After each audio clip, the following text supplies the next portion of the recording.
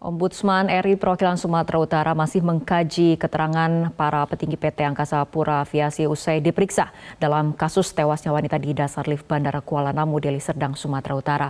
Sementara para petinggi PT Angkasa Pura enggan berkomentar usai diperiksa oleh Ombudsman.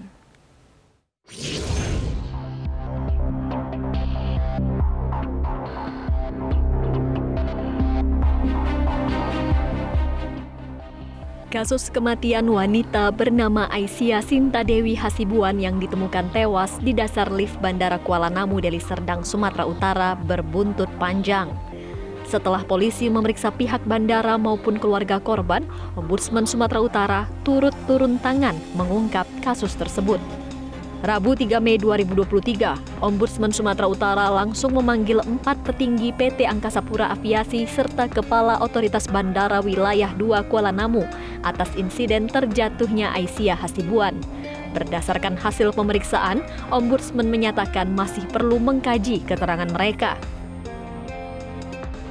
Ya, masih mereka makan masih punya persis sendiri, ya kan? Bahwa mereka punya persis sendiri menjelaskan itu. Ya, tapi nanti mungkin akan kita combine dengan uh, penjelasan dari pihak pelapor misalnya kan dari pihak korban bagaimana prosesnya ya kan yang kita dapat misalnya kan bahwa uh, apa uh, pelapor sudah melapor ya kan? Lalu kemudian dicari di lip dan lip nggak ada masalah katanya lalu pergi ke CCTV CCTV nggak ditemukan ya kan gitu kan? Ya. mengarah ke maladministrasi pelayanan? Ya tentu ada lah dari sekian proses mulai dari saya misalkan dari awal kan misalnya konstruksi lift saja menurut saya itu tidak sesuai dengan eh, standar misalnya dalam untuk memberikan jaminan keamanan dan keselamatan bagi penyelenggara bagi masyarakat pengguna layanan ya. Sementara itu, usai diperiksa Ombudsman, Direktur Operasi PT Angkasa Pura Aviasi, Herianto Wibowo enggan berkomentar banyak termasuk soal penonaktifan lima personel bandara.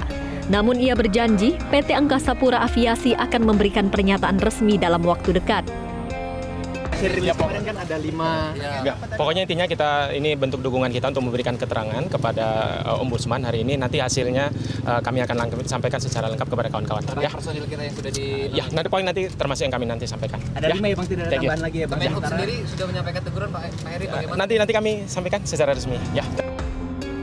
Sebelumnya, usai mengecek kondisi lift Bandara Kuala Namu, Ombudsman Sumatera Utara menduga adanya kelalaian terhadap sarana serta prasarana dari pelayanan bandara. Pasalnya, bandara mestinya memberikan jaminan keselamatan sesuai Undang-Undang Penerbangan. Dari Medan, Sumatera Utara, Dana Pangaribuan, Media Group Network.